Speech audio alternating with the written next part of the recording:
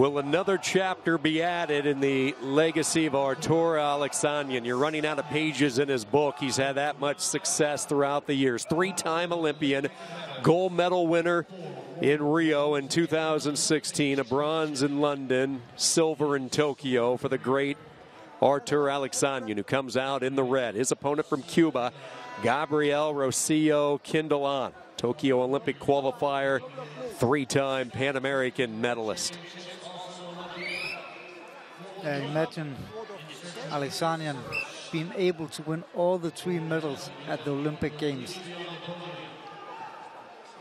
Just an incredible legacy. And as we talked about, the most decorated Olympian athlete from Armenia. Started wrestling, started Greco-Roman wrestling 23 years ago.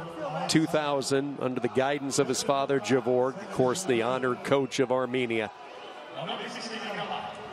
Son has made father very proud the past decade. That's for sure. We talked about um, earlier today how uh, Rosillo, he would uh, he could win this fight, and we uh, got to that conclusion. He has to uh, defend against uh, against uh, Alexander Godwins in the parterre position, but that is easier said than done. And it's actually Aleksanyan who will start underneath on parterre. So Rosillo Kindelan, if he's going to pull this upset, he needs to get turns when he has the opportunity. Exactly, exactly. So these are situations where you just can't take your one passivity point and get back up. And he is active. He's been active all week. Into a lift, stand up position. Couldn't quite straddle the legs and, and get them clear, so he'll try a second time near the edge. Again, stumbling a little bit.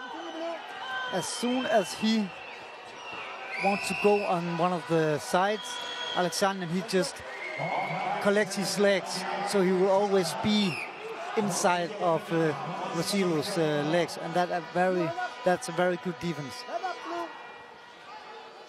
Just blocking the flow, the rhythm of where Kindelan wanted to step to get that plant foot and then each time he's uh, collecting his legs together, he will just jump a little bit forward to key, to get uh, Rosillo out of balance.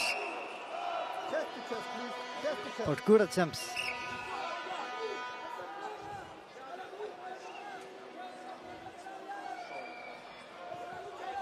Forty-five seconds remaining, opening period, gold medal match, or final gold medal bout of the night.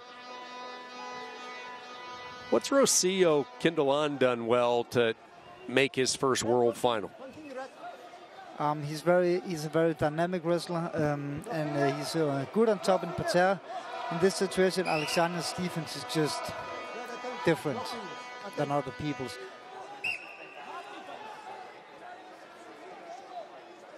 And, what, and, it was a very big uh, chance for uh, right now because uh, Alexander, he's just so strong in standing position.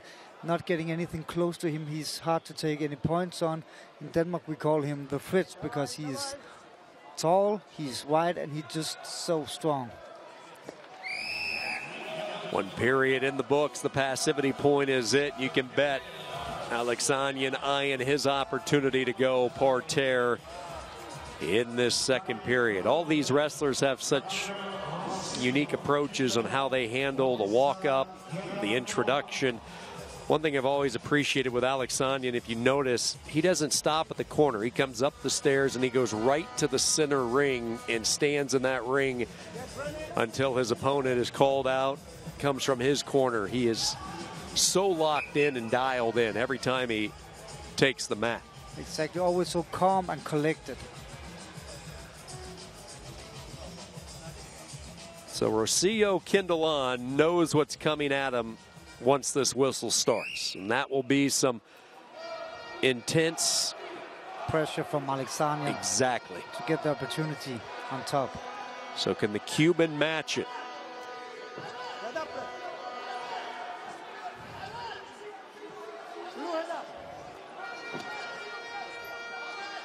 If I was Rosillo, I would do anything right now in my power not to get down in the parterre position because Alexander has a mean gut wrench.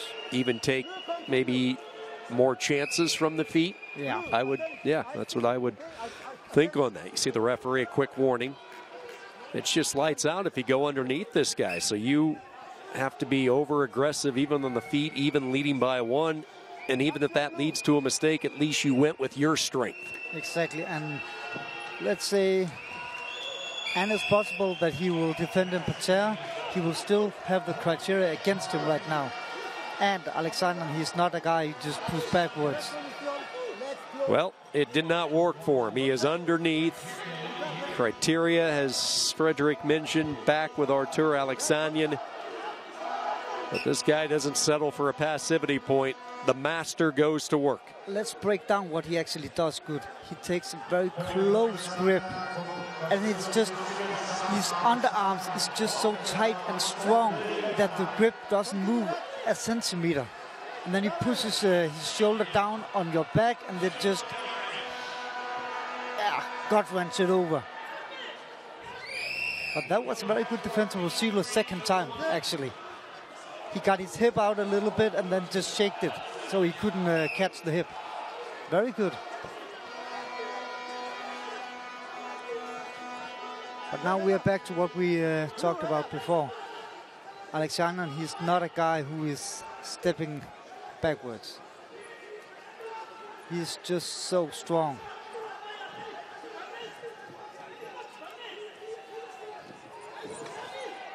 Great attempt from Rosillo.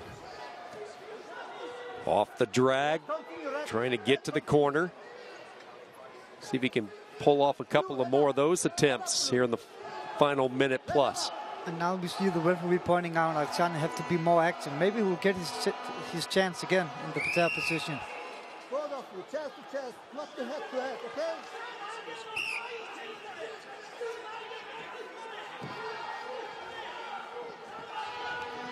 Blue head up, red And the referee is uh, Lutfe Arte from uh, Danish national team.